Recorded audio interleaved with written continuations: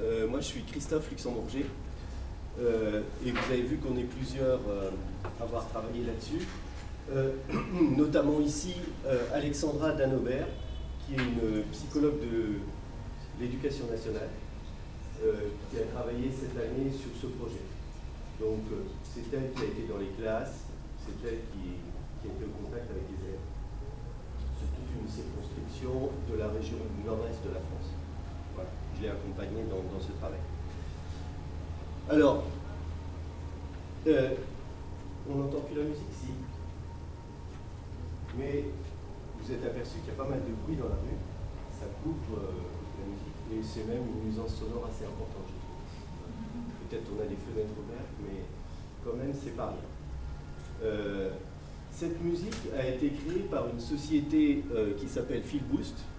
Euh, on leur a dit qu'on voulait travailler avec des enfants de CP. Euh, CP en France, c'est 6-7 ans, hein, apprentissage de la lecture. et on voulait une musique qui facilite les capacités attentionnelles. Voilà. Et donc, avec leur savoir-faire, qui ne nous ont pas communiqué, euh, ils ont essayé de mettre ils ont mis au point cette musique-là. Ils ont l'habitude de travailler dans des entreprises, souvent des grosses entreprises qui leur font des commandes. Par exemple, pour des informaticiens qui ont besoin de se détendre ou alors de se concentrer ou d'avoir une activité intense. Donc euh, leur euh, fonds de commerce, c'est des commandes d'entreprises qui leur demandent un environnement sonore pour telle ou telle tâche. Société strasbourgeoise. Donc je vous la fais écouter peut-être comme ça en fond sonore, comme ça vous, voyez de, quoi il s'agit. Ça ne nous empêche pas de continuer à... Alors, donc j'étais en train d'introduire en disant que l'environnement extérieur pouvait apporter pas mal de nuisances sonores, mais également les activités scolaires elles-mêmes. Et euh, associé à la conception des bâtiments. Tous les bâtiments ne sont pas pensés de la même façon, hein, parce qu'il y a des matériaux qui sont plus ou moins absorbants. Ce qui fait qu'au final, on n'a pas du tout le même résultat sur le confort acoustique, sur le bien-être, la santé et les apprentissages. C'est ça qu'on a essayé de vérifier, notamment les apprentissages fondamentaux des élèves de 6-7 ans. Et donc, quelles sont les différences et quel est euh, l'effet de nuisance sonore ou d'une mauvaise acoustique sur euh, les apprentissages des élèves Alors, ici, on a quelques normes. On a le bruit de fond, c'est généralement autour de 35 décibels. moi, je pense qu'on est un tout petit peu au-dessus, là, euh, avec le bruit de la rue. Ici, on a les normes de l'OMS euh, euh, qui sont ici TR, il faut lire taux de réverbération. Euh, chaque salle, chaque lieu a un taux de réverbération. C'est-à-dire, le son se propage dans l'espace, il nous revient, il réverbère, c'est comme de l'écho si vous voulez. Et quand on a des matériaux comme ici la moquette ou ce plafond, on va absorber, on va diminuer le taux de réverbération. Par exemple, un studio d'enregistrement, le taux de réverbération est très bas ou une salle euh, destinée à la musique, surtout quand il y a beaucoup de musiciens, on réduit euh, le taux de réverbération pour ne pas que les sons reviennent, se mélangent, etc. Sinon, ça devient inaudible. Mais ça a aussi un effet sur la parole. Hein. Quand euh, la salle n'est pas adaptée, la parole voyage et elle se mélange à, des nouvelles syllabes. Hein, par exemple, les curés dans des églises, j'ai appris ça, apprennent à parler doucement, justement, parce que dans les églises, il y a un taux de réverbération important, euh, bien au-delà d'une seconde. Euh, donc, les normes de l'OMS pour les classes, c'est ne pas dépasser 0,6 secondes. Ça veut dire, euh, peut-être encore on va liquider l'aspect technique, on prend un bruit, un bruit et c'est le temps que le bruit met pour perdre 60 décibels. Donc là, il mettrait 0,6 secondes pour perdre 60 décibels. Donc on a un taux de réverbération de 0,6 secondes. D'accord? Alors, en France, on n'obéit pas vraiment à l'OMS parce qu'on estime que c'est 0,8. Voilà. toujours peut-être un peu particulier à la France. Et on a un texte de 2003 qui est normalement communiqué aux mairies, aux conseils généraux, aux régions, etc. Hein, texte de l'État. qui dit que le taux de réverbération d'une classe ne doit jamais dépasser 0,8 secondes. On conseille même qu'ils soient entre 0,4 et 0,8 secondes. Voilà. Alors pour vous donner une idée, j'ai mesuré le taux de réverbération de cette salle-là euh, hier, je crois, quand il n'y avait personne. C'est 0,45, 0,4 et des points. Donc c'est quand même très bon. C'est très très bon. À cause de la moquette, comme je disais, à cause du plafond. Mais euh, il faudrait mieux peut-être fermer les fenêtres. Alors, on a déjà des études hein, qui montrent que euh, ça affecte les apprentissages. Donc ici, je cite deux études sur euh, les, 8 ans et demi et 11 ans. Alors, la deuxième partie de l'étude, c'est est-ce que l'ambiance sonore peut améliorer les capacités attentionnelles?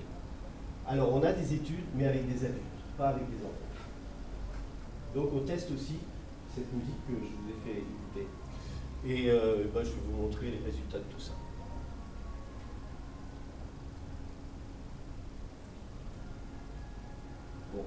Plus. Ici, on voit peut-être une, salle avec euh, un tapis, c'est très bien un tapis. Euh, ce, qui est, affreux, c'est une carrelage au sol. Et les murs en plaque, pas recouverts, euh, pas de plafond baissé ou avec une. Donc nos hypothèses sont les suivantes. Est-ce que une mauvaise acoustique versus une bonne acoustique ça va euh, euh, affecter les progrès aux évaluations nationales. Hein. Est-ce qu'une mauvaise acoustique, ça va diminuer les performances attentionnelles? Est-ce que euh, les performances attentionnelles avec l'ambiance sonore va améliorer les performances, plus les performances attentionnelles que sans ambiance sonore? Ou est-ce que les performances attentionnelles avec ambiance sonore et bonne acoustique seront euh, meilleures que les performances attentionnelles euh, avec ambiance sonore et mauvaise acoustique. Alors, vous voyez ici, euh, en fait, cette psychologue de l'éducation nationale a fait son stage dans une circonscription où il y avait 6 plus 7 classes de CP, donc 13 classes en tout. on n'a pas fait de tri, elle a pris toutes les classes.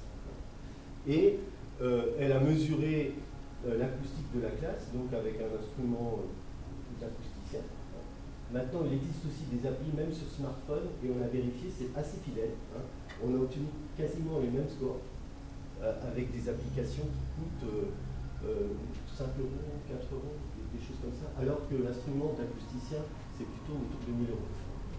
C'est vraiment pour des résultats similaires. donc, je vous laisse lire le, la méthodologie. Ici, on a six classes avec bonne acoustique.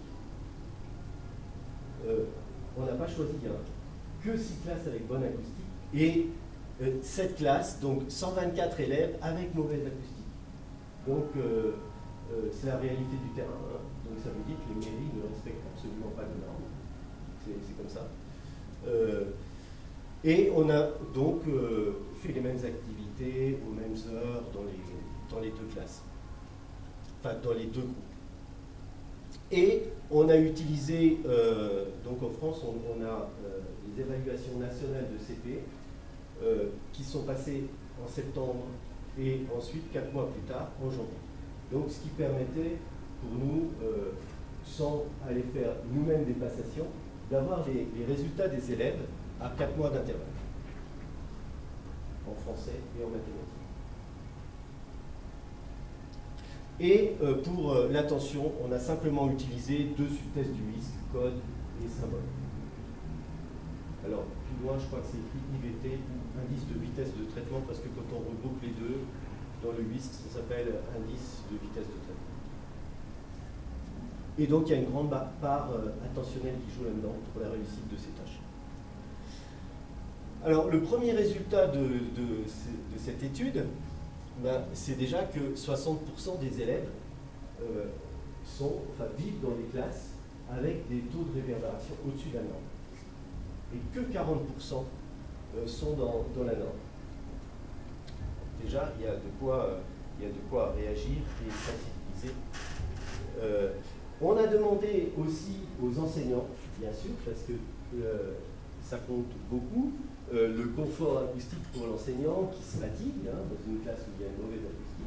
Donc on leur a simplement demandé, sans, leur donner les chiffres, comment vous jugez euh, l'acoustique de votre classe de 0 à 5, pas, à 6 justement, 5 hein. étant euh, très bon, 0 euh, étant très mauvais. Et donc, on a mis ici les taux de réverbération en abscisse et ça correspond tout à fait hein, avec la réalité physique de, la salle de classe.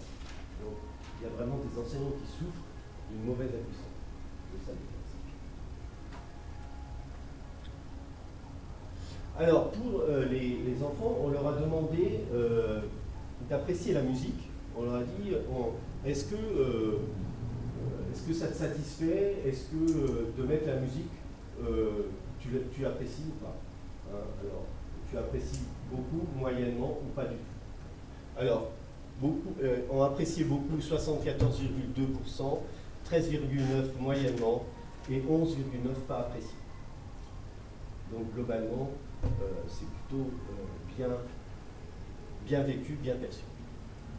Alors, les résultats. Euh, en français et en maths, lorsqu'on est dans une classe avec une bonne acoustique, on progresse significativement plus vite classe avec mauvaise acoustique. Donc, c'est tout de même un, résultat qui était important. Hein, on ne pensait pas que ce serait aussi tranché. Euh, autant en français qu'en maths. Puis vous voyez même encore un tout petit peu plus en maths.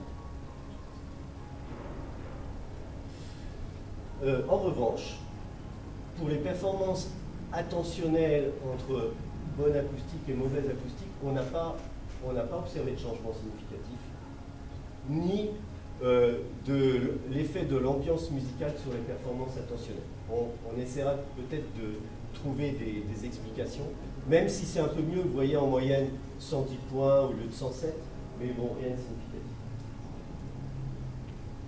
Et ambiance musicale, performance attentionnelle et qualité acoustique, euh, avec ces trois variables, il n'y a pas non plus de, différence.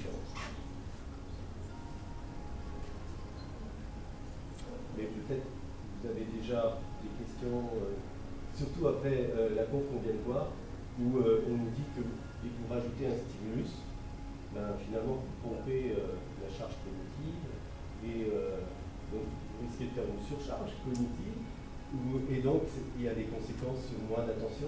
En fait là non. Ce qu'on a observé c'est plutôt neutre, voire quelque chose d'un tout petit peu mieux.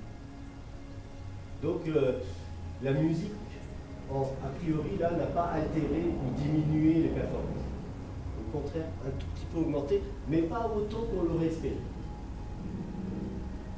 Alors, après, on, va donner des pistes explicatives. Donc, on confirme finalement ce qu'on voit dans la littérature, mais les adultes, hein.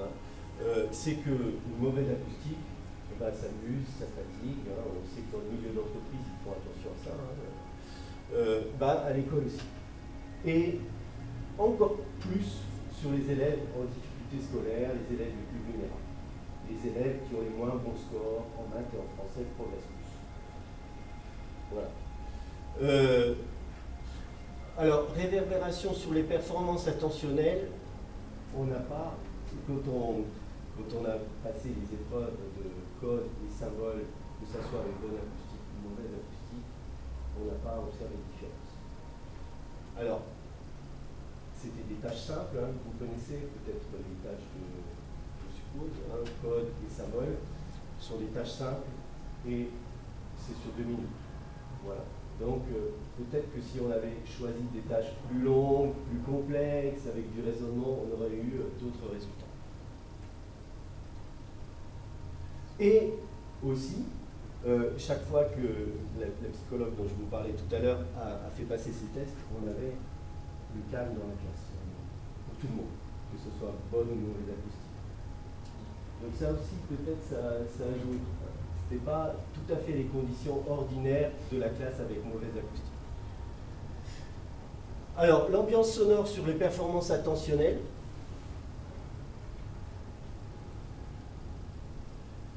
Alors, bon, euh, oui, je, l'ai déjà dit, ça n'a rien donné.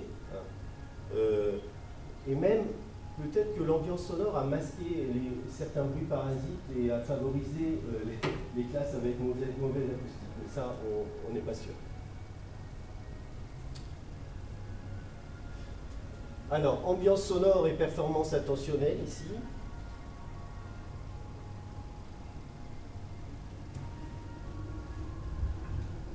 Alors, euh, ce qu'on aurait dû faire, euh, ce qu'aurait dû faire euh, la psychologue de l'éducation nationale qui a, fait passer le, test, c'est qu'elle aurait dû habituer les élèves à voir. ils ont l'habitude d'entendre cette musique, et donc il n'y a pas d'effet de surprise, il n'y a pas d'effet de ah, j'ai envie d'écouter ce qui se passe, bien comprendre ce qu'on me fait écouter. Et donc, euh, finalement, ça mobilise beaucoup d'attention. En fait, elle leur a fait écouter juste 5 minutes avant. Et 5 minutes avant pendant 3 minutes.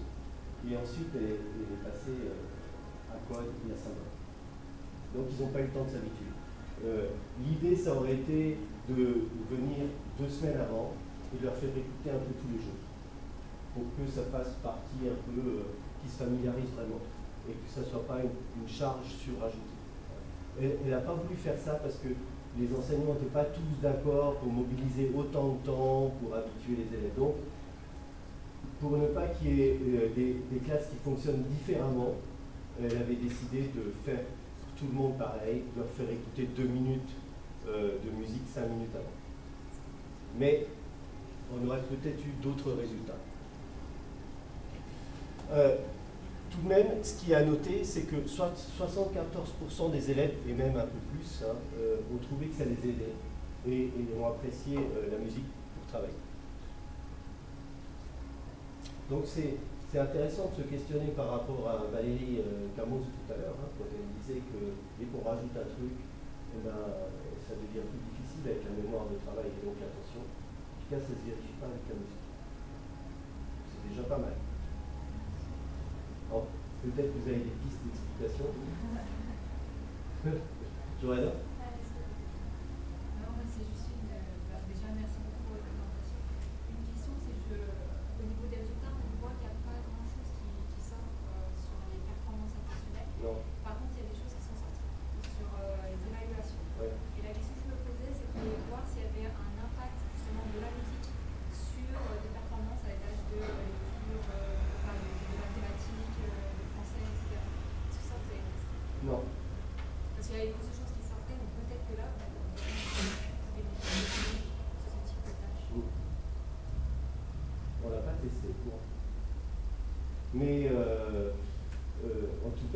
c'est dans, notre tête, ça, fait l'objet d'un prolongement de, cette recherche-là. Avec aussi d'autres tâches intentionnelles, répétées, bien sûr.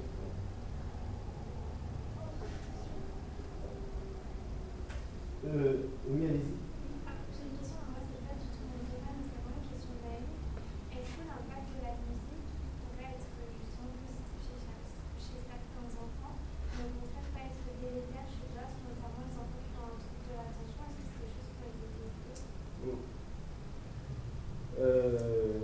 Référence en tête euh, sur, des, sur des publics un peu spécifiques. Les, quelques références que j'ai, ça dépend déjà de la musique qu'on utilise. Hein. Vous voyez, là, c'est quand même une musique très très douce. C'est pas une musique qui, qui interpelle. Hein. On a un rythme qui est à peu près euh, des battements cardiaques au retour. Quoi. Donc, euh, euh, évidemment, si on mettait des percus avec un rythme rapide, peut-être on obtiendrait autre chose. Euh, l'idée, euh, c'est euh, de maintenir éveillé et de stimuler, c'est comme une, sorte de booster tranquille qui fait que l'enfant est un tout petit peu plus attentif qu'il le serait s'il n'y avait pas de musique. Je crois que c'est pensé un peu comme ça. Mais avec des publics atypiques euh, je ne risquerais pas trop, par exemple avec des autistes, peut-être que ça marcherait super bien avec certains et ce serait très délétère avec d'autres. J'imagine, hein, connaissant un peu l'autisme.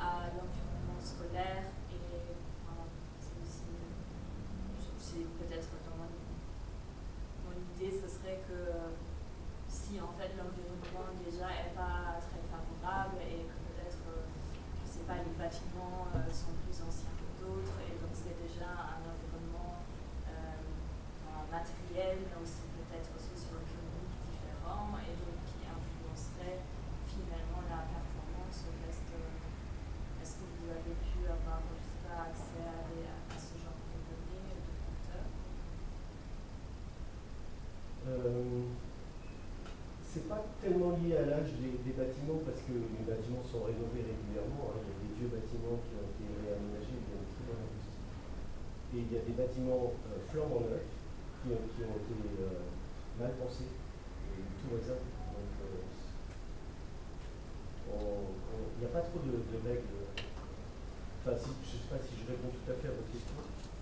Oui, un peu. Enfin, c'est vraiment la, le questionnement sur est-ce que du coup là, c'est vraiment à, à l'environnement sonore ou est-ce qu'en fait euh, l'environnement sonore fait que est lié à d'autres variables aussi que là vous n'avez pas pu contrôler mais qui font que bah, l'apprentissage est pendant en fait. Oui, alors après peut-être il aurait fallu encore plus de monde, plus de classes et on aurait, on aurait euh, annulé peut-être des variables parasites, mais, mais tout de même là, euh, notre, notre critère qui est très euh, fonctionne. Alors bien sûr, il y a aussi les maîtres, les enseignants, tout ça, ça joue. Hein. Il aurait fallu contrôler énormément de trucs. Hein. Mais on, suppose que ça, s'annule. On, a des effets maîtres d'un côté, euh, positifs de l'autre côté aussi. voilà. Non, on n'a pas de contrôle. Mais euh, vous avez mesuré la progression des mêmes enfants oui. donc. Euh, c'est la progression des mêmes enfants, bien sûr, quatre mois après. Sans contrôler les défauts, je crois. Oui. Donc les mêmes enfants, quatre mois après, avec bonne acoustique, progressent significativement plus qu'avec mauvaise acoustique. Donc vous avez fait des tests, vous avez fait pré-test post-test Oui, bien sûr. J'ai mal expliqué ça Ouais, c'était pas vraiment. En tout cas, pour moi, les mêmes. C'est les mêmes en septembre et c'est les mêmes aujourd'hui, sur des tâches analogues. Avec 5 minutes de, musique Avec 5 minutes de musique, pas sur le français et les maths, uniquement sur les tâches attentionnelles. Donc l'effet que vous avez trouvé sur les français et les maths n'a rien à voir avec la musique Rien à voir avec la musique. On n'a pas testé la musique sur français et maths, euh, on a juste euh, essayé de voir comment les mêmes élèves avec mauvaise acoustique progressaient et comment les élèves avec mauvaise acoustique progressaient. Pardon, je n'ai pas vu suffisamment clair. Euh, je n'avais pas compris. Non, bah, non c'est ah, oui. pas, désolé. Et euh, moi, je ne sais pas, par exemple, les écarts dans chaque classe, ça, ça, serait très intéressant parce que, me pardonnez, mais ça me semble quand même assez. Le fait qu'il n'y a pas d'effet avec 5 minutes, ça, ne me surprend pas. Mais je m'arrête bien voir en fait la, la, diverse, la variabilité au sein de chaque classe avant et après. Oui. Sur tout ce qui est amélioration et progrès en fait de performance Oui, je ne l'ai pas mis ici dans, dans l'exposé, mais bien sûr, on a regardé les articles, etc. C'était euh, comparable d'un groupe à l'autre. Oui. oui, merci beaucoup pour ce sujet très intéressant parce que je me souviens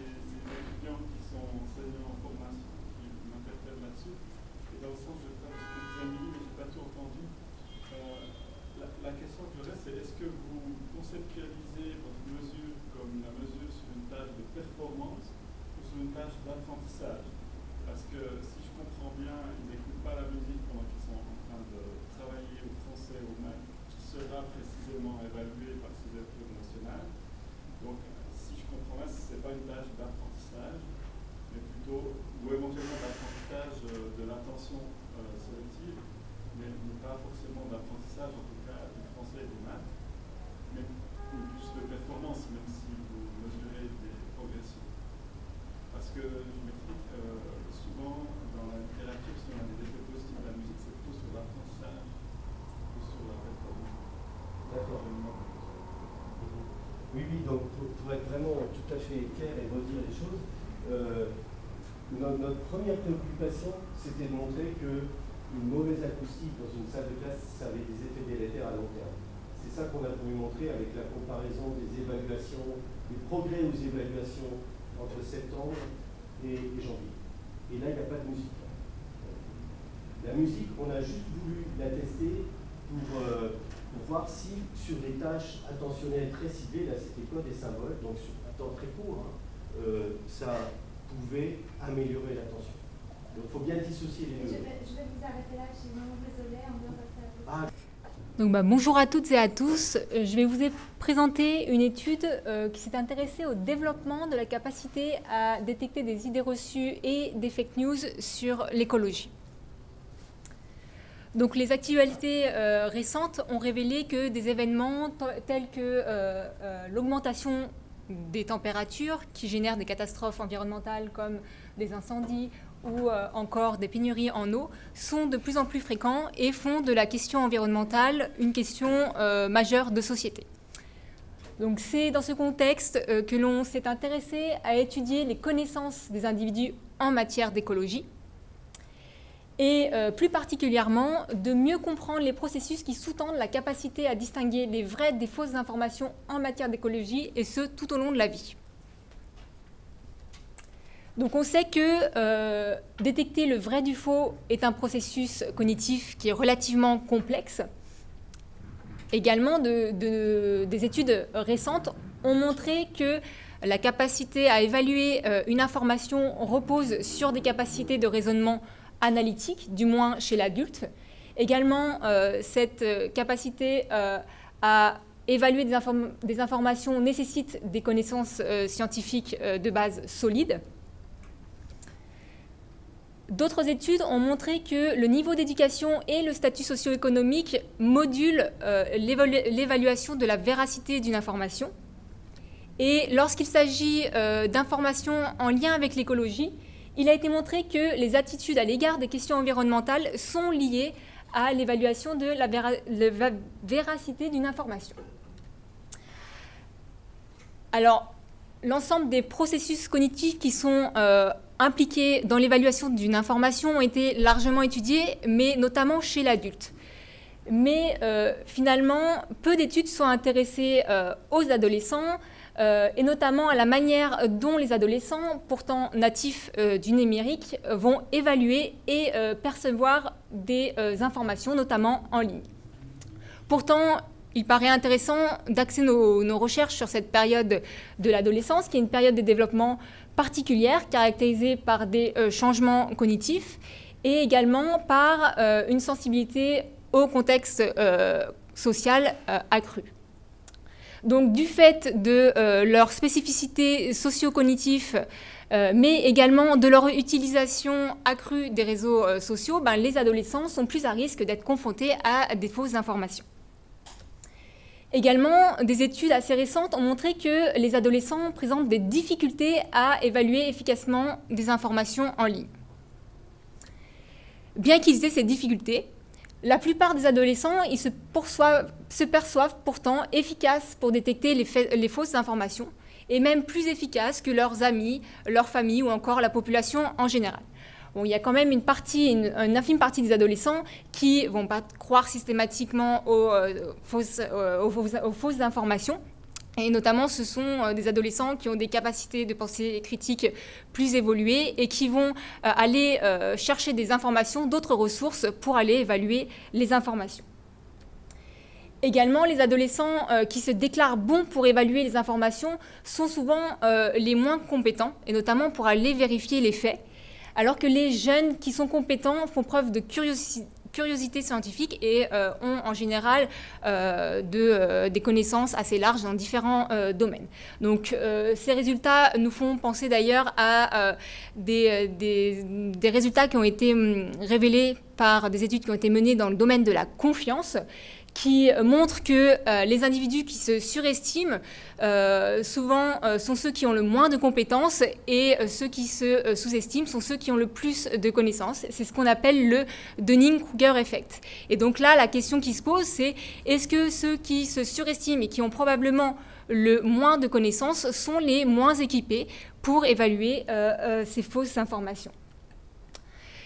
Alors, on sait également qu'il y a de nombreuses études qui sont intéressées à étudier la capacité à détecter le vrai du faux dans différents euh, domaines, et euh, en particulier dans le domaine de la santé, de la politique, mais euh, peu d'études se sont intéressées au domaine de l'écologie. Pourtant, ça semble assez important actuellement du fait de l'augmentation de la fréquence de ces catastrophes environnementales. Également, beaucoup d'études se sont intéressées euh, ben, euh, aux capacités à euh, évaluer une information à détecter le vrai du faux chez l'adulte, mais peu d'études se sont intéressées à la trajectoire développementale de cette capacité. Et pour finir, beaucoup d'études se sont intéressées aux fake news qui sont produites intentionnellement pour tromper le lecteur, mais à notre connaissance, aucune étude ne sont intéressées aux idées reçues qui sont qui sont largement répandues, souvent erronées et euh, donc fortement ancrées dans la culture et difficiles à, contrer. C'est euh, dans ce contexte que notre étude s'est intéressée à évaluer le développement de la capacité à détecter des idées reçues et des fake news sur l'écologie.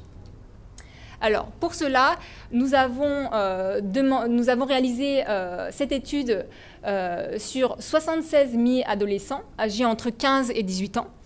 67 adolescents euh, tardifs âgés entre 19 et 23 ans, 103 adultes âgés entre 30 et 45 ans et 82 euh, seniors âgés entre 65 et 80 euh, ans. Donc cette étude elle a été réalisée en ligne via la plateforme Qualtrics. Donc on a demandé dans un premier temps aux participants de répondre à un questionnaire sociodémographique. Ensuite, les participants ont réalisé une tâche d'idées reçues, puis euh, une tâche de fake news ou vice-versa. Donc, dans la tâche d'idées reçues, on a demandé aux participants d'évaluer donc 15 idées reçues et 15 euh, idées vraies via une échelle de Likert en indiquant s'il indiquait 1 c'est je suis pas du tout euh, d'accord avec cette idée jusqu'à 4 je suis tout à fait d'accord avec cette idée on a calculé ce qu'on appelle un score de discernement qui allait entre moins 1 et 1. Donc moins 1, ça correspond à des participants qui ont de grosses difficultés à, discerner euh, le vrai du faux. Et 1, c'est pour des participants qui sont très forts à discerner euh, le vrai euh, du faux. Et donc, on avait différentes idées reçues et idées vraies, donc qui étaient en lien avec l'écologie. Donc, on a abordé différentes euh, thématiques hein, avec ces idées. On avait le réchauffement climatique, mais pas que. Il y avait également la pénurie en eau.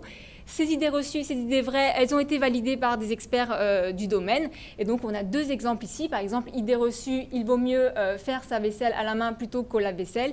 Idée vraie, il faut l'équivalent de 70 douches pour fabriquer un t-shirt. Ensuite, le participant il a réalisé la tâche de fake news. Donc soit il l'a réalisé après la tâche d'idées reçues, soit en amont de la tâche euh, d'idées reçues. Donc encore euh, une fois ici, il avait à évaluer donc ici six fake news et six vraies informations à l'aide toujours d'une euh, échelle de Likert allant de 1, je ne suis pas du tout d'accord avec cette information, à 4, je suis tout à fait d'accord avec cette information. On calculait un score identique, qui était le score de discernement, qui allait de moins 1 à 1. Donc ici deux exemples, euh, un exemple de fake news et un exemple de vraies euh, informations. Donc les fake news, elles sont issues euh, de sites de fact-checking, donc elles sont factuellement fausses. Les vraies idées, elles, elles sont issues de médias traditionnels comme par exemple Le Monde ou Le Figaro. Et vous voyez comme ici, donc on a des, exemples qui sont présentés ici où elles sont présentées comme un post Facebook où on a un titre, euh, une image, un slogan et une source, mais cette source, elle a été floutée afin d'éviter qu'elle ait, une influence sur l'évaluation de euh, l'information.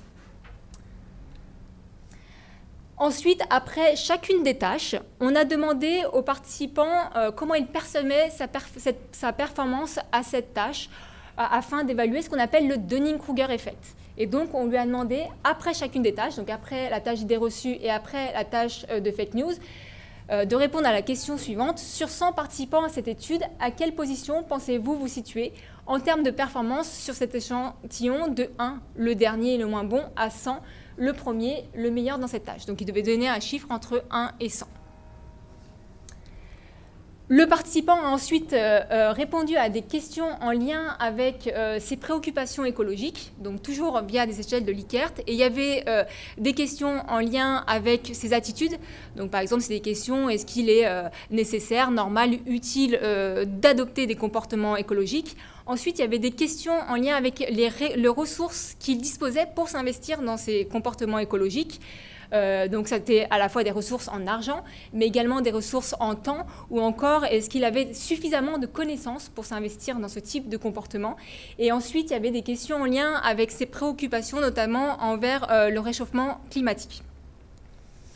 Et pour finir, euh, les participants ont réalisé deux tâches de CRT la tâche de CRT verbale qui été composée de 7 items et euh, la tâche de CRT euh, numérique composée de quatre items conflits. Donc dans ces items conflits, on a la réponse heuristique intuitive qui est en conflit avec la réponse logique.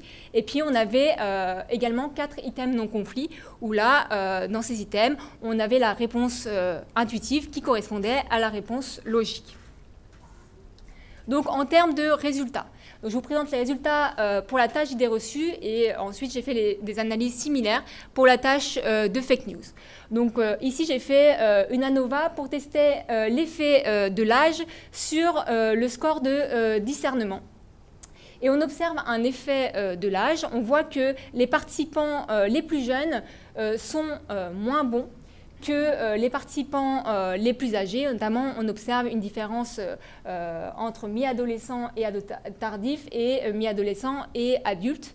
Et donc ce résultat c'est le même sur le graphe qu'on observe à droite avec la fréquence de réponse, où on a les,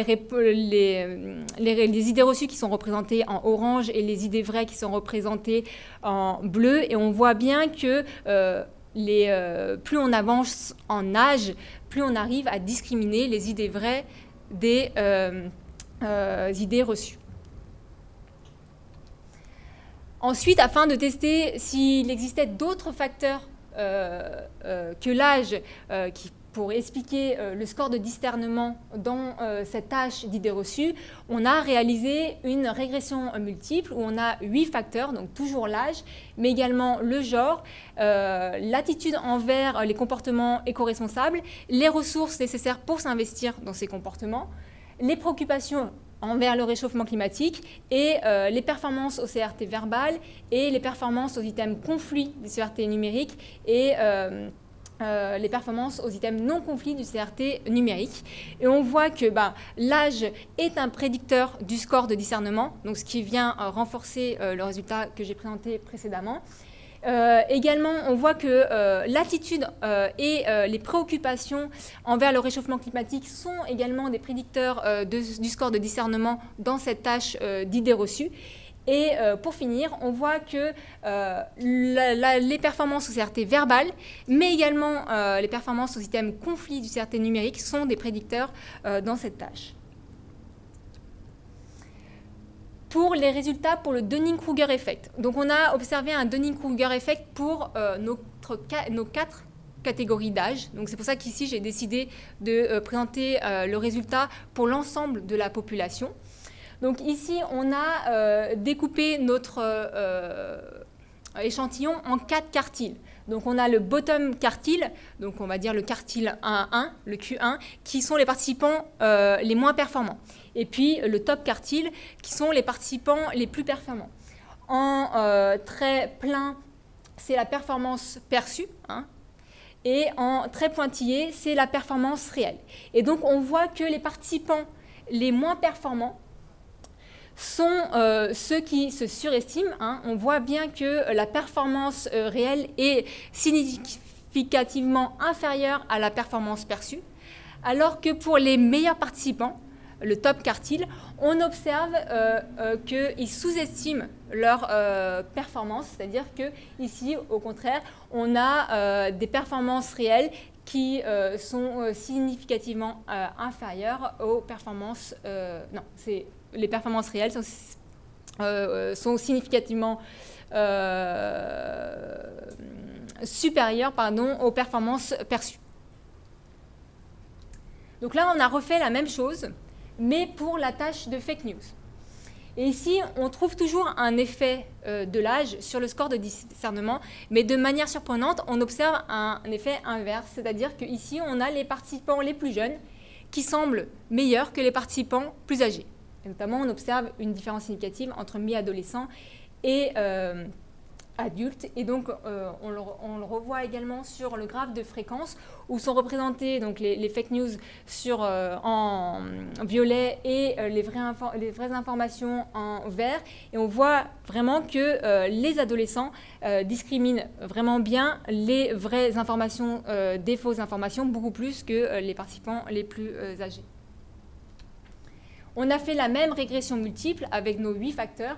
Et ici, on voit que euh, seule l'attitude et euh, les ressources envers euh, le les ressources disponibles pour s'investir dans les comportements éco-responsables sont des prédicteurs du score de discernement dans cette tâche. Et très marginalement, hein, les performances au CRT verbal sont prédicteurs du score de discernement dans cette tâche. Au niveau du, du euh, Dunning-Kruger effect, euh, là, les résultats sont totalement identiques. Hein. Encore une fois, j'ai euh, un Dunning-Kruger effect pour mes quatre catégories d'âge. Donc, j'ai présenté qu'un graphique et on voit bien que les participants les moins performants se surestiment et les participants les plus performants se sous-estiment. Donc pour conclure, on a vu que euh, on, observe de moins bonnes capacités des mi-adolescents à détecter euh, des idées reçues versus des idées vraies que euh, les participants les plus âgés. Donc on peut penser que bah, les idées reçues, elles sont ancrées dans la culture, donc probablement qu'elles nécessitent des capacités cognitives de haut niveau et des connaissances générales solides. Et donc cela peut s'expliquer par le fait que bah, chez ces adolescentes tardives, euh, les euh, capacités cognitives euh, ne sont pas encore matures.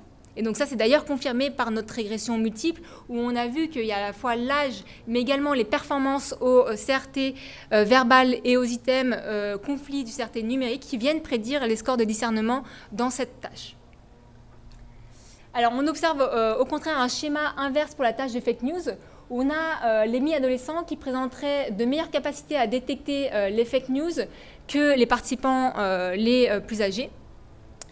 Euh, donc ici, deux explications possibles. C'est que la première, c'est que les fake news, seraient moins enracinées dans la culture et elles feraient probablement moins appel à des capacités cognitives. Et encore une fois, ça aussi, c'est confirmé par nos résultats dans l'analyse de régression multiple, où on voit que finalement, les performances au CRT elles ne, sont pas euh, ou que marginalement euh, des prédicteurs euh, du score de discernement.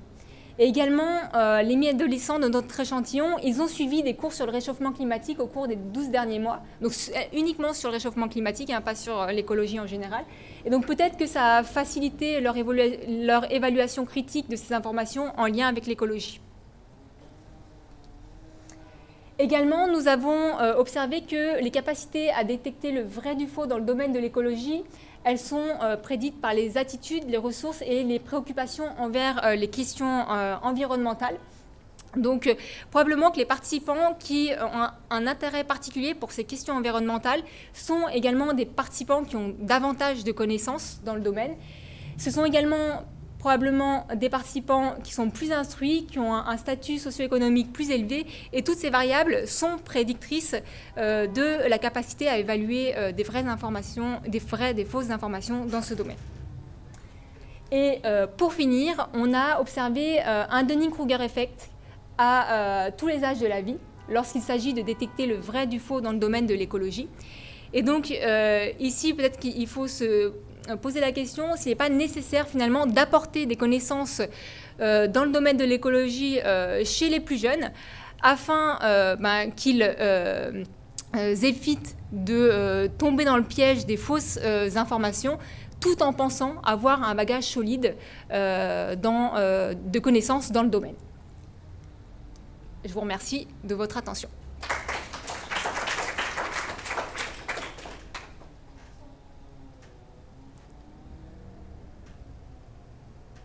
Oui, pardon. J'en ai une curiosité. Vous avez fait un design intra, c'est ça, avec fake news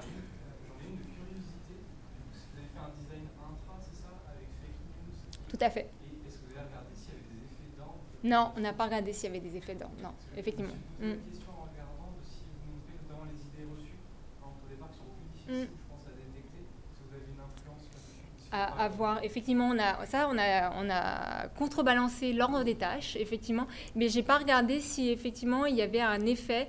Le, le fait étant que peut-être la tâche était peut-être plus difficile pour les euh, idées reçues, est-ce que finalement il y a un effet bénéfique ou délétère sur la tâche d'après? Effectivement, ce serait intéressant à regarder. Non, j'ai pas regardé ça. Ah, C'était une question de curiosité. Ouais.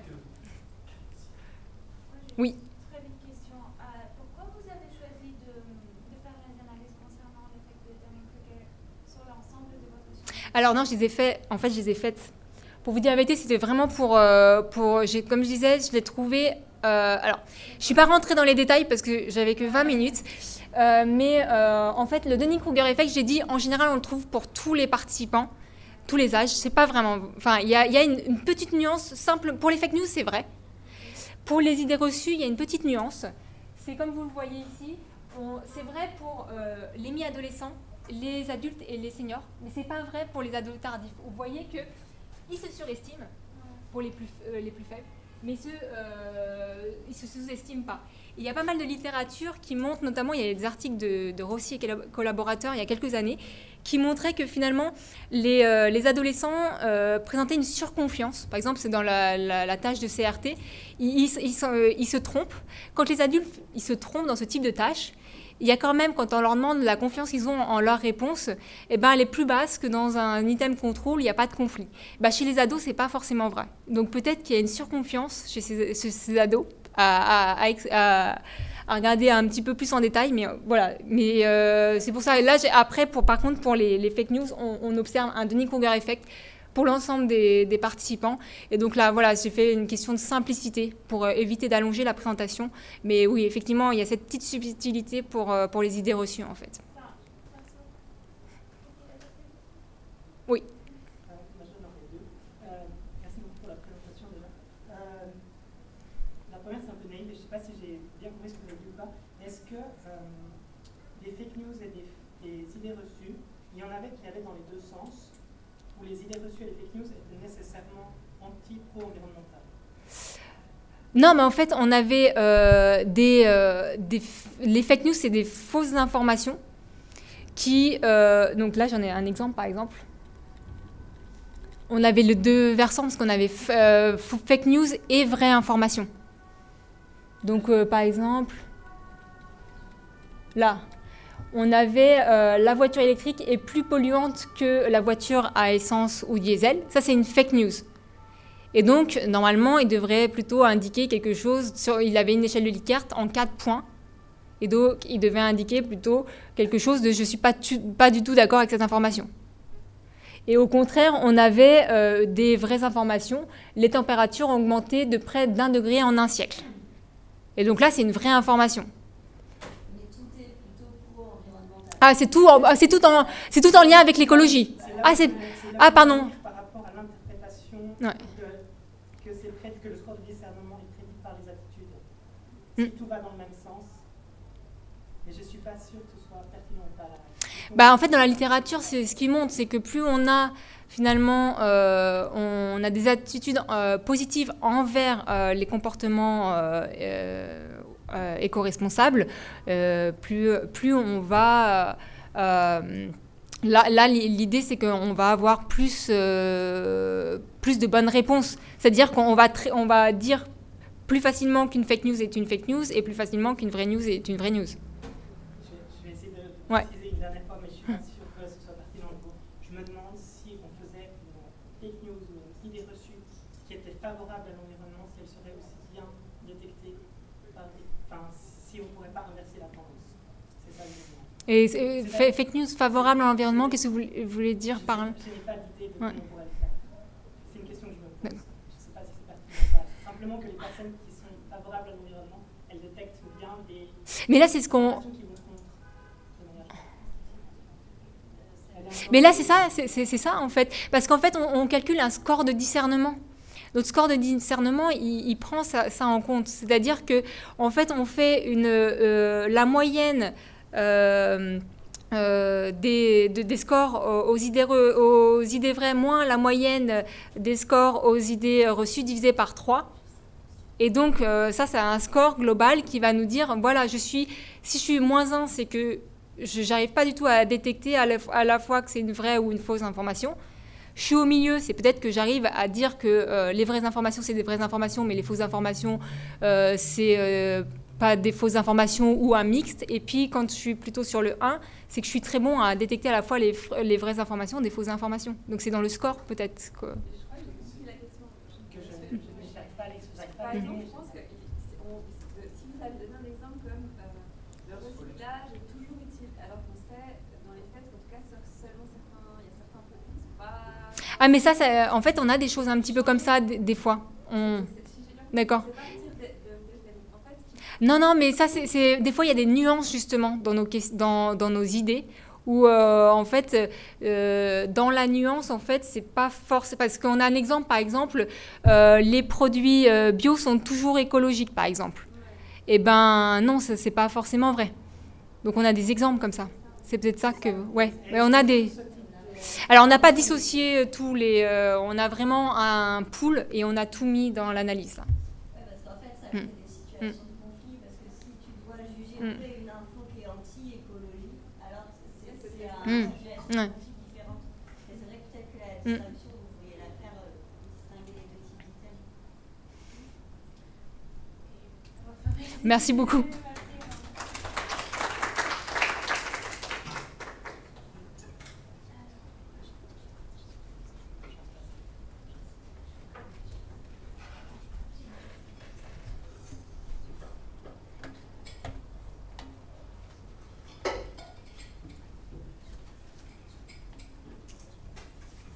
C'est ça, hein Oui, c'est ça. Allez-y.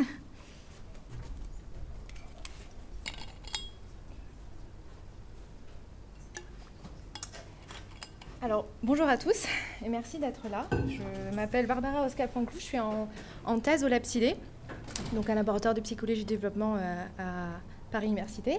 Et je vais vous présenter une étude sur euh, les capacités de créativité des enfants, adolescents et adultes dans un problème euh, qui est lié à la crise environnementale. Alors la crise environnementale, euh, je pense que vous le savez, c'est de loin l'une des pires crises auxquelles euh, doit faire face euh, l'humain. Et en fait, elle peut se résumer en une multitude de problèmes auxquels il faut trouver des solutions et trouver des solutions rapidement. Donc par exemple, il va falloir trouver des moyens pour faire en sorte de moins consommer, de moins, polluer et de moins surproduire. Et cette résolution de problème, elle concerne les adultes, mais pas que. Elle concerne aussi les enfants et les adolescents, puisque les- ça va concerner leur future vie adulte. Et ça tombe bien parce que euh, les adolescents sont de plus en plus euh, engagés dans la question euh, de la lutte contre le réchauffement climatique et les autres sources de problèmes liés à la crise environnementale. Et donc, quand ils vont être face à un de ces problèmes au cours de leur vie actuelle, d'ailleurs, ou de leur future vie adulte, ils auront deux possibilités. Soit ils pourront utiliser une solution qui leur a été euh, apprise, donc une des solutions connues, ou bien ils peuvent euh, essayer de générer par eux-mêmes une nouvelle solution euh, face au problème. Et donc, on s'est dit qu'on aurait, en tout cas, ce serait bénéfique d'essayer d'apprendre aux adolescents et, aux enfants de stimuler les compétences de résolution de problèmes. Mais en fait, face à un problème, il y a une multitude de solutions qui existent. Et certaines de ces solutions, elles sont plus originales, plus rares, mais toujours en étant appropriées au problème. Et c'est ce qu'on appelle des solutions créatives. Et le fait d'avoir cette diversité de solutions et d'avoir des solutions euh, différentes, euh, ça permet en fait d'être euh, plus optimal dans la résolution du problème. Et donc, on s'était dit que ce serait d'autant plus bénéfique de stimuler la créativité des, des adolescents, donc stimuler les compétences de résolution de problèmes créatifs. Alors la créativité, en psychologie, elle est définie comme la capacité de génération d'une idée qui est à la fois euh, rare, original, approprié. Et euh, quand on est face à un problème, on a euh, automatiquement des connaissances qui sont activées et qui vont produire des solutions connues. Et ensuite, on peut générer des solutions qui sont du coup les solutions créatives, plus, éloignées, et elles nécessitent d'inhiber les connaissances qui sont automatiquement activées. Donc vous avez ici une illustration qui est le modèle triadique de la créativité proposé par Cassotti. Euh, on va illustrer la créativité avec l'exemple de la tâche de l'œuf, qui est une tâche de laboratoire qu'on a utilisée euh, de nombreuses fois et qui est euh, de faire en sorte, donc vous avez un œuf de poule qui est lâché de 10 mètres de haut et on doit trouver des solutions pour faire en sorte que l'œuf de poule ne se casse pas. Et donc cette tâche a été testée de nombreuses fois auprès de différentes populations, de différents âges et de différents niveaux d'expertise dans différents domaines. Et on a également cartographié l'ensemble des solutions possibles à cette tâche avec une technique euh, qui est utilisée dans, euh, la conception innovante qui s'appelle la théorie CK. Et cette technique, elle permet en fait, on a deux espaces, on a un espace des concepts et un espace des connaissances. Et euh, dans l'espace des concepts, on va pouvoir élaborer l'ensemble des voies d'exploration pour arriver aux solutions aux problèmes. Et puis dans l'espace des, connaissances, on va utiliser ces connaissances pour élaborer les voies d'exploration, mais en même temps, euh, s'engager dans une voie d'exploration, ça nous permet d'activer de nouvelles connaissances et donc on peut naviguer entre les deux, entre les deux espaces. Et l'intérêt de cette, théorie et de cette cartographie des solutions possibles, c'est que en même temps de voir les différentes solutions aux problèmes, on peut visualiser les connaissances qui sont associées.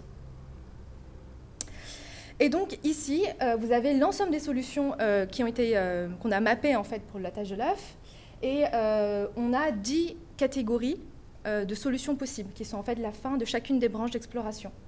Et donc logiquement, euh, quand on est face à cette tâche et dont la consigne est de trouver un maximum de solutions créatives, on devrait s'attendre à avoir euh, une répartition de 10% en fait égale de chacune des, catégories.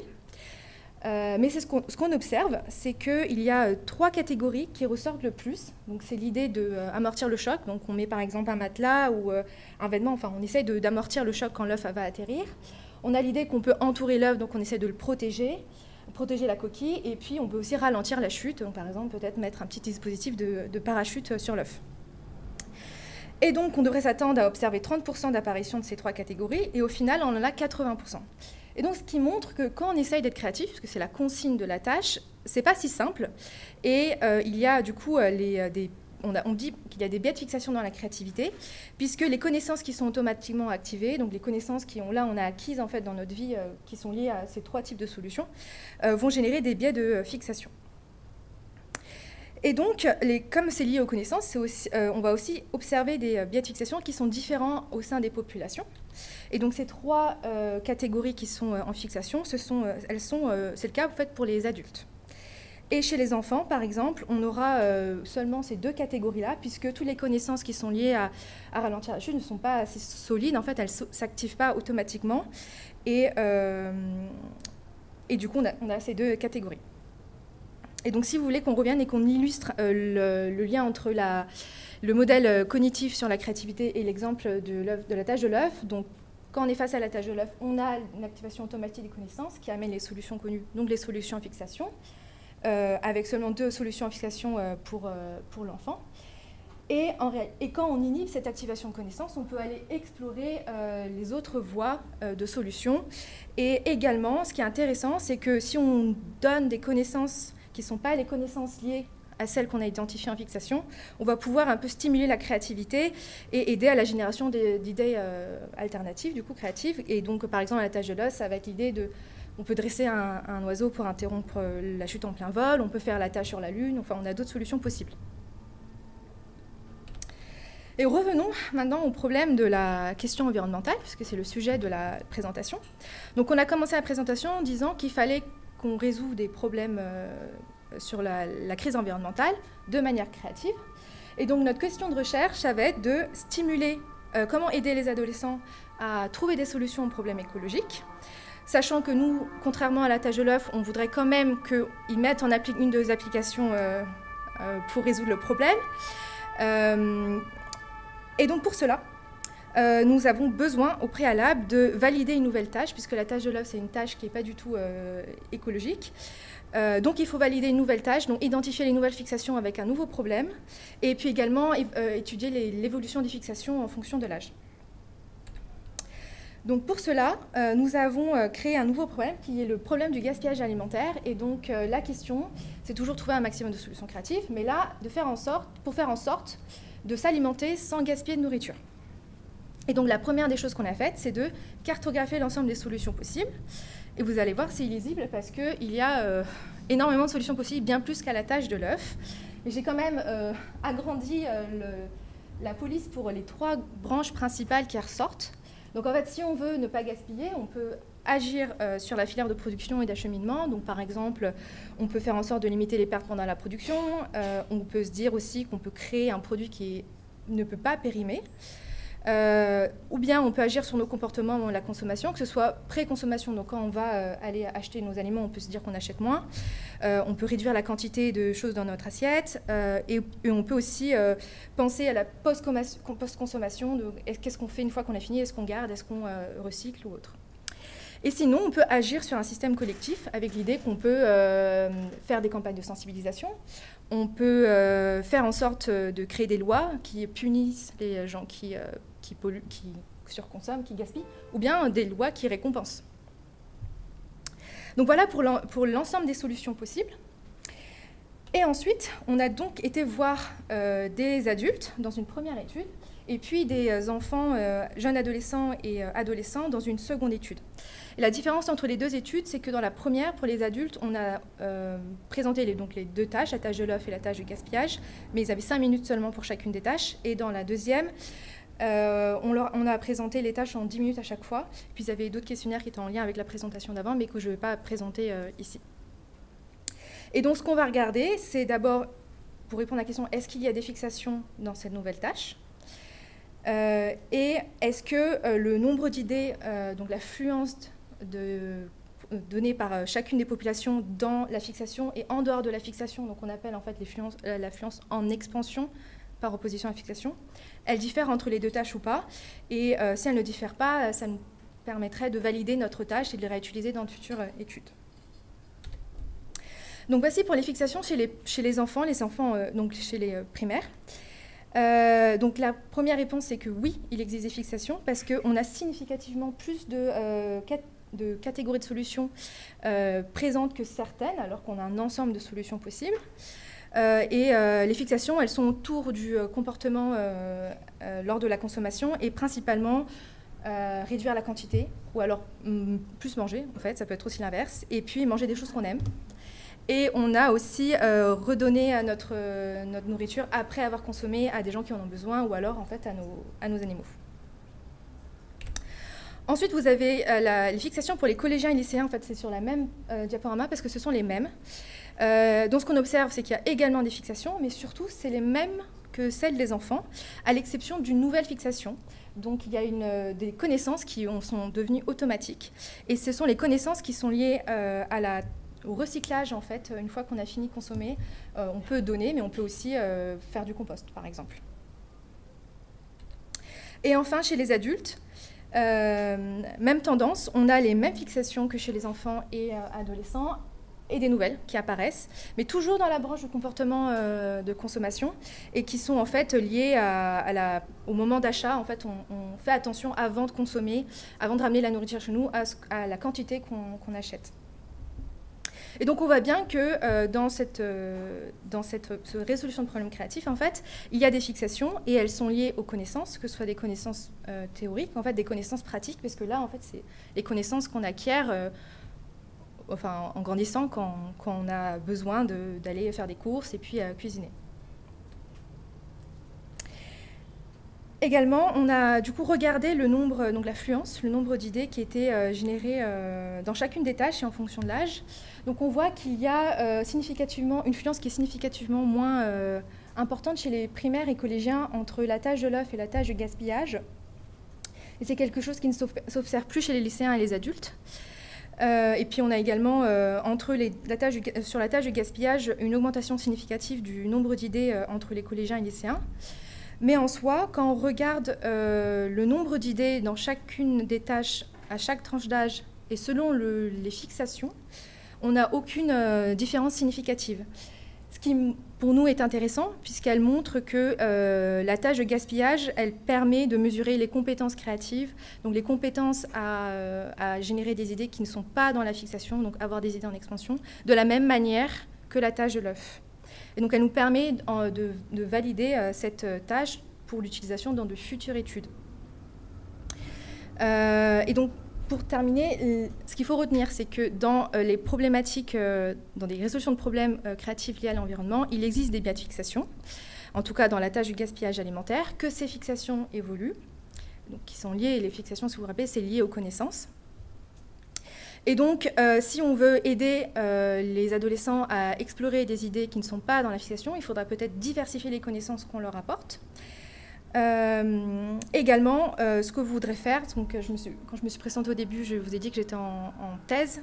Et donc, euh, le sujet de ma thèse, ça va être de stimuler les comportements éco-responsables des adolescents. Et je fais ma thèse sous la direction d'Emilie Salvia, qui a présenté juste avant, et de Mathieu Cassotti. Et on voudrait stimuler les comportements éco-responsables avec deux versants. La versant émotion, émotion pour leur donner envie de s'engager, et créativité euh, pour voir si euh, stimuler la créativité, ça les aide à adopter des comportements au long terme. Et donc euh, le but de la validation de cette tâche est de pouvoir réutiliser cette tâche ensuite dans des interventions qu'on fera au collège, lycée pour stimuler la créativité des adolescents. Voilà, je vous remercie pour votre attention.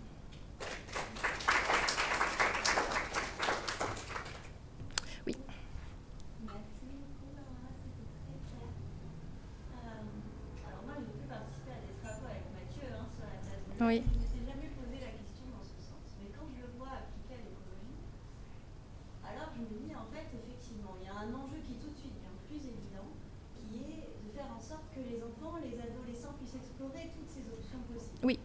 Et tu dis à la fin, bah en fait il faut leur donner des connaissances plus diversifiées pour leur permettre d'être davantage en expansion qu'en fixation. C'est ça. Et en fait je me dis oui mais leur donner des connaissances, est-ce que ça favorise l'expansion ou est-ce que ça va, comme tu le vois évoluer avec l'âge, selon toi, juste diversifier la fixation bah, en fait, ça dépend à quel point, bah, c'est toute la question sur euh, les connaissances, comment elles peuvent stimuler la, créativité ou alors l'inhiber. Euh, je dirais que ça dépend à quel point euh, les connaissances, elles deviennent solides ou pas. Mais c'est pas très grave si on crée des nouvelles fixations sur des idées qui sont créatives.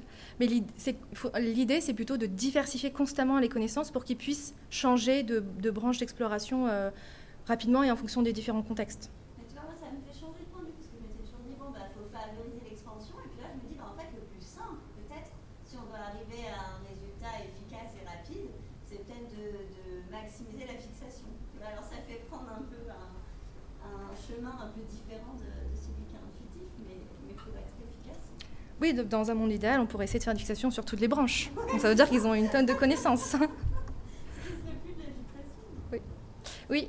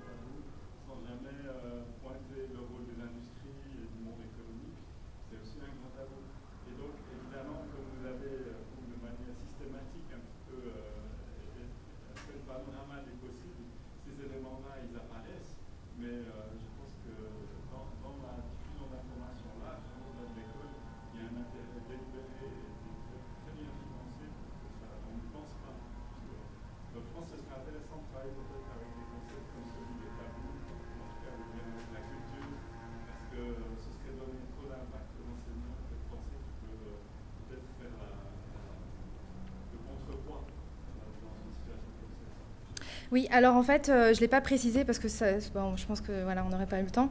Mais ce ne va pas être les, enseignants qui vont donner ces connaissances. L'idée, c'est que ce sont les adolescents eux-mêmes qui aillent chercher les connaissances. Et donc, en fait, nous, quand on va faire les interventions, on va venir avec euh, cet arbre. Donc, c'est pour ça qu'on avait besoin aussi de le faire en amont. Et donc, nous, on connaît un peu les. Quand on va voir les enfants, enfin les adolescents générer des idées, on va un peu savoir où ils sortent, vers quelle branche ils s'orientent. Et donc on pourra un peu leur dire, bah, allez chercher d'autres connaissances. Et l'idée, c'est qu'ils cherchent eux-mêmes les connaissances. Et c'est pas du tout un enseignant qui va euh, donner un savoir, parce fait, l'idée aussi, c'est qu'ils soient proactifs dans la recherche des solutions. Oui. Bon, euh, félicitations. Pour la... Moi, j'adore le sujet et j'adore euh, Merci. Et moi, je suis pas d'accord avec le fait que euh, le fait de, de comment dire, de expand, comment expand en français? Élargir, euh, ouais, étaler les connaissances, euh, ça amène à une fixation plus vaste. Euh, on, on connaît qu'à travers les travaux de Paul Harris sur l'imagination et la créativité, on sait très bien que la créativité est influencée par les connaissances et par les stimuli auxquels les enfants sont exposés. Donc je trouve la méthodologie de votre euh, étude très intéressante. Moi, j'aimerais savoir un peu plus au niveau pratique, comment vous allez exposer les adolescents à ces informations. Vous allez juste les présenter, ça serait plutôt un travail de... En fait, ce serait une séquence, ce serait sur plus- plusieurs interventions, ce ne sera pas euh, une seule, parce que en fait, ça va prendre du temps d'aller chercher les informations. Et euh, on sera plutôt là pour les guider, euh, pour la recherche de connaissances. Après, pr- en pratique, comment on va leur donner ces connaissances C'est un peu en réflexion. Je pense qu'on leur laissera accès à tous les moyens de connaissances possibles. Mais c'est vraiment eux qui vont chercher comment chercher ces connaissances aussi. Et en fait, on aura, aussi un, un pré-test, post-test sur euh, les euh, questionnaires et les tâches qui ont été présentés juste avant euh, par Émilie Salvia, puisqu'on voudrait voir si ça va les aider à détecter les idées reçues, les fake news. On a aussi des questionnaires sur l'éco-anxiété, on voudrait voir si ça diminue ou pas. Mais en pratique, ça n'a pas encore été totalement organisé sur comment sont passées les interventions. Merci. Est-ce qu'il y a d'autres questions Oui. comprendre à la fin, enfin, ça va au-delà de la présentation sur la thèse sur le rôle des émotions. Oui. Comment vous l'imaginez vous, pendant cette séquence Alors, Alors, j'ai envie de dire oui non. Initialement, non. Mais maintenant, je dirais oui, mais pas sur la même, euh, même chose. En fait, initialement, l'idée, c'était de stimuler l'engagement. Et donc, on aurait une, une étude avant où on présenterait euh, des informations sur la, la, la crise environnementale de manière positive ou de manière négative, et ça engendrerait des émotions négatives ou des émotions positives. Et on voulait voir déjà quelle situation allait favoriser l'engagement. Parce que euh, quand on regarde euh, un peu les informations qui sont euh, dans les médias, on ne sait pas s'il faut alerter en disant Eh, c'est maintenant qu'il faut agir, c'est grave, ou si plutôt il faut les rassurer. Donc déjà, on voudrait répondre à cette question. Ensuite, je pense qu'il y a de plus en plus d'éco-anxiété chez les adolescents. Et donc forcément, quand on va aborder ces thématiques pendant les interventions, il va falloir avoir des moyens de régulation émotionnelle. Donc concrètement, je ne sais pas, mais du coup, oui, je pense qu'on va aborder la, question d'émotion pendant les interventions.